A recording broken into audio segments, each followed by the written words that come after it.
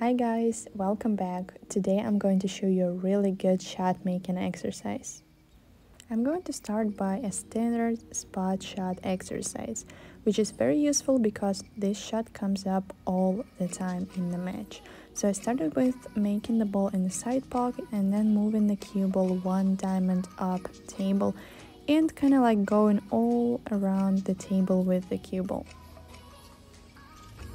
This shot I'm going to play into two opposite corner pockets, to the right and to the left.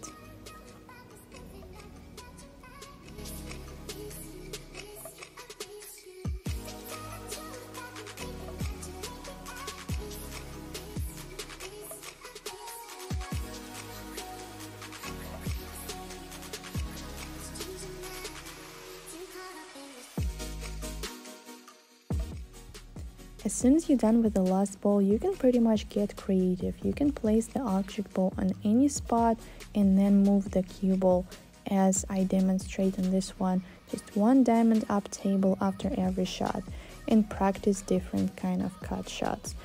In the end of the day, our goal is to work on our weaknesses. So if you notice that you're struggling with particular cut shot, try to set it up and move the cue ball all around the table to make sure that you're comfortable hitting this particular shot.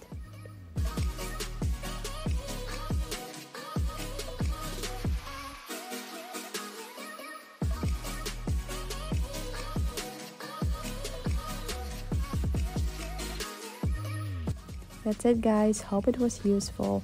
As you can see here, you can choose pretty much any position of the object ball and then just experiment and be creative. And I'll see you all in the next video.